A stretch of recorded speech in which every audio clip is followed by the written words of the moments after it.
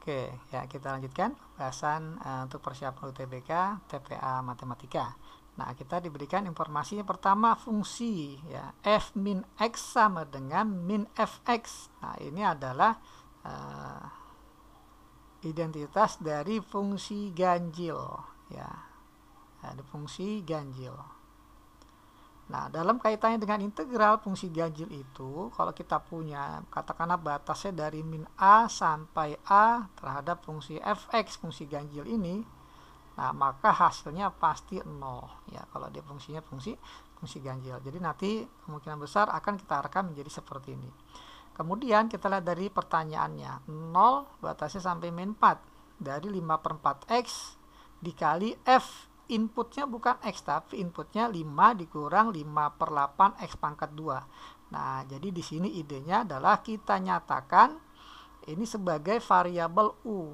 Nah jadi kita misalkan di sini idenya kita misalkan nah, katakanlah U ya sama dengan 5 min 5 per 8 X pangkat 2 tujuannya agar menjadi FU ya FU oke kemudian kalau seandainya kita nyatakan ini sebagai U, maka nanti tidak boleh ada variabel X. Harus semuanya dalam bentuk U, termasuk DX, nanti rangka kedua menjadi DU. Oke ya, jadi kita turunkan ruas kiri dan kanan. U diturunkan menjadi DU.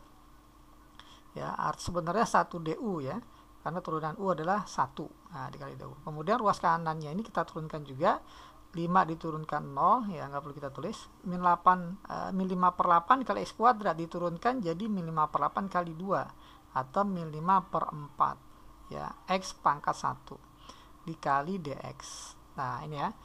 Nah, min 5 per 4 x dx nah di soal ini adanya 5 per 4 x dx tidak ada min nah maka minnya kita hilangkan dengan cara kita kali min kedua ruas jadi min du nah ini sama dengan 5 per 4 x dx Nah, jadi soal yang kita hadapi ini berubah dia menjadi integral FU ya, FU uh, 5 per 4 x dx adalah min du, min du.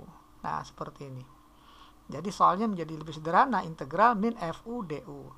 Nah, sekarang batasnya. Batasnya kan batas U sekarang, bukan batas X lagi. Makanya 0 sampai min 4 kita rubah ya, ke dalam bentuk batas-batas uh, X ya dengan menjadi batas U.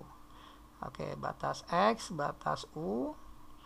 Ya, kita masukkan ke uh, bentuk persamaan ini ya. U sama dengan 5 dikurang 5 per 8 X kuadrat. Kalau X-nya 0 ya maka U-nya jadi 5 dikurang 5 per 8 kali 0 kuadrat ya ini pasti 0 ya jadi 5 sekarang kalau X nya min 4 kalau X-nya min 4 maka jadi 5 dikurang 5 per 8 kali min 4 kuadrat. Oke, min 4 kuadrat ini kan 16 ya. 2 8 2. Jadi 5 dikurang 5 kali 2. 5 dikurang 10 jadi min 5. Nah, seperti ini. Jadi 0 diganti 5, 0 menjadi 5 batasnya. Min 4 ya, jadi min 5. Nah, seperti ini.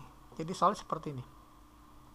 Oke, sekarang batasnya ini adalah 5 sampai min 5. Gimana kalau kita pengen min 5 sampai 5? Ya, kalau batasnya dirubah jadi muncul tanda minus ya.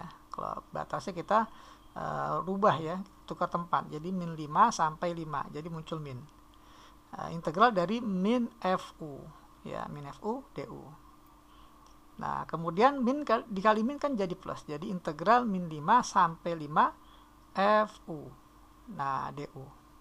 Gitu ya nah ini uh, U nya nggak begitu jelas ya jelas U gitu ya oke nah kita tahu tadi bahwa X F ini adalah fungsi ganjil ya fungsi ganjil kalau fungsi ganjil pasti berlaku integral min A sampai A itu sama dengan 0 nah sehingga ini integralnya batasnya min 5 sampai 5 dari fungsi F nah F nya ganjil maka hasilnya adalah 0 tanpa kita harus mengetahui fungsi f-nya seperti apa. Yang jelas dia ganjil.